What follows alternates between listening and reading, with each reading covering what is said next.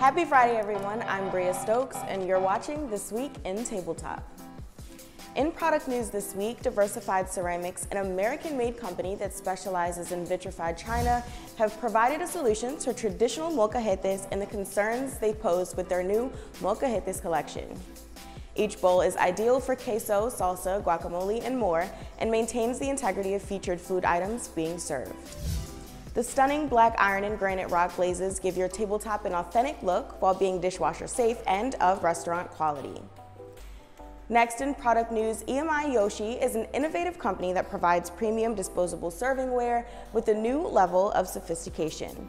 Along with the promise of high quality disposable utensils and dinnerware, EMI Yoshi holds a promise to the environment using low energy processes and materials that can be recycled easily face item in the Glimmerware collection mirrors the quality and elegance of fine china and utensils with a new level of convenience. With a simple, modern design, the Glimmerware cutlery can be used for virtually any event from catering to weddings to black tie events. The handle is designed to be balanced, creating a natural feel in the hand. There's more to be excited about when it comes to EMI Yoshi. The company is happy to provide a wide selection of products unparalleled delivery time, and a genuine desire to help your culinary business. In industry news, a new trend may be emerging in the cocktail world and might just be catching fire soon. Have you ever heard of a grilled cocktail?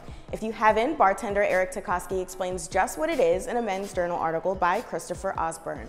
Tecosky says that coring different fruits and vegetables and filling them with an array of liquors gives the drink a smoky and flavorful base for a variety of cocktails. Once you get started, the only limits are imagination and time to experiment. Coconuts, bell peppers, mangoes, and more, he explains. Think about the different glassware that these cocktails could be served in. Collins glasses, highball glasses, even serving the drink in the pineapple itself to create an unforgettable tropical experience that ultimately lends to an unforgettable tabletop and dining experience. Lastly, don't forget we're back with another episode of Deconstructing Disposables. In this episode, Andy, Scott, and Dave talk about how to integrate disposables with permanent wear. Uh, you'll see here a, a, host of different items and, and they're, they're mixed together. In some aspects, you may not know which one is the disposable item and which one is actually the permanent item.